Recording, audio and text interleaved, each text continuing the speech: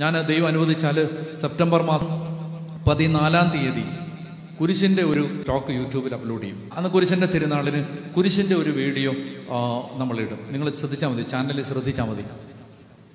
കുരിശ്. അതിനെ ഞാൻ വിശദമായിട്ട് കുരിശിനെ കുറിച്ച് പറയും. പറയുന്നുണ്ട് വിശദമായിട്ട്.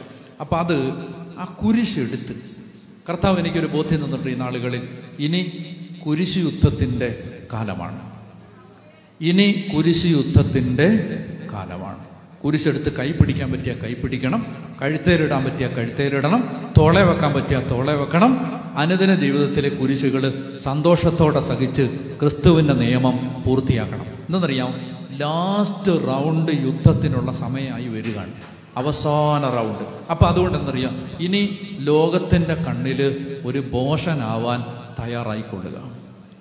ലോകത്തിന്റെ കണ്ണിൽ ബുദ്ധിമാന്മാരുടെയും പ്രമാണിമാരുടെയും ബുദ്ധിരാക്ഷസന്മാരുടെയും പണ്ഡിതന്മാരുടെയും ഒക്കെ ഈ ദന്തഗോപുരങ്ങളിലിരുന്ന് കല്ലെറിയുന്നവരുടെ നടുവിൽ ഒരു വിഡ്ഢിയാവാൻ ഭോഷനാവാൻ തയ്യാറായിക്കൊള്ളുക.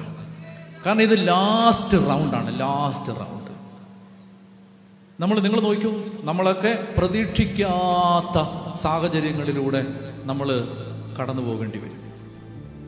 അതിനുള്ള കാഹളം മുഴങ്ങിക്കഴിഞ്ഞു. അതുകൊണ്ട് നിങ്ങൾ മനസ്സിലാക്കിയിരിക്കണം. ഇനി ഇനി ഒരു അല്പവിശ്വാസം ചെറിയ വിശ്വാസം ഒരു മടുത്ത വിശ്വാസം ഒരു മരവിച്ച വിശ്വാസം ഒരു ചത്ത വിശ്വാസം ഇതുകൊണ്ടൊന്നും ഇനി ഒന്നും ചെയ്യാനില്ല. ഇനി എന്ത് ചെയ്യുക ഇനി കർത്താവായ യേശുവിനെ മുന്നിൽ കാണുക ഓടുക. നമുക്ക് ചുറ്റും സാക്ഷികളുടെ വലിയ സമൂഹമുള്ളതിനാൽ നമ്മെ വിഷമിപ്പിക്കുന്ന ഭാരവും പാപവും നീക്കിക്കളയാം. നമുക്കായി നിശ്ചയിച്ചിരിക്കുന്ന ഓട്ടപ്പന്തയം സ്ഥിരോത്സാഹത്തോടെ ഓടിത്തീർക്കാം. അടുത്ത വചനം നമ്മുടെ വിശ്വാസത്തിന്റെ നാഥനും അതിനെ പൂർണതയിലെത്തിക്കുന്നവനുമായ യേശു ക്രിസ്തുവിനെ മുന്നിൽ കണ്ടുകൊണ്ട് വേണം ഓടാൻ. അവൻ തനിക്കുണ്ടായിരുന്ന സന്തോഷം ഉപേക്ഷിച്ച് അവമാനം സ്വീകരിച്ച് കുരിശ് ക്ഷമയോടെ സ്വീകരിച്ചു.